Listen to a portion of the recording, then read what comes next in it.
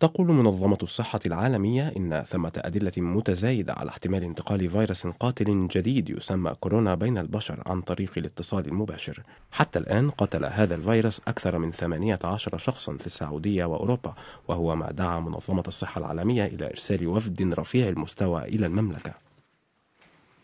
ما يشغل بالنا أكثر من أي شيء آخر هو أن المجموعات المختلفة التي رصدناها في بلدان عدة تؤيد أكثر فأكثر الفرضية التي تذهب إلى أنه عندما يحدث اتصال مباشر بين شخصين يمكن للفيروس الجديد أن ينتقل بينهما. السلطات السعودية تقول إن الفيروس قتل حتى الآن تسع حالات من إجمالي 15 حالة إصابة مؤكدة. من بينهم حسين الشيخ الذي راح والده ضحية لهذا الفيروس قبل أن ينقل العدوى لأفراد العائلة.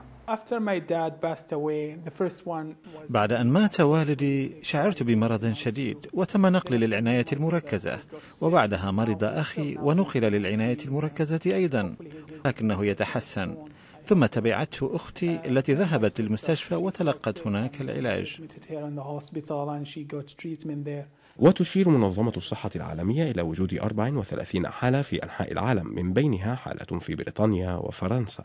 وينتمي فيروس كورونا إلى العائلة ذاتها التي تسبب مرض الالتهاب الرئوي الحاد سارس والذي انتقل في مناطق مختلفة من العالم في أعقاب ظهوره لأول مرة في آسيا في أواخر عام 2003 وأدى إلى وفاة 775 شخصاً.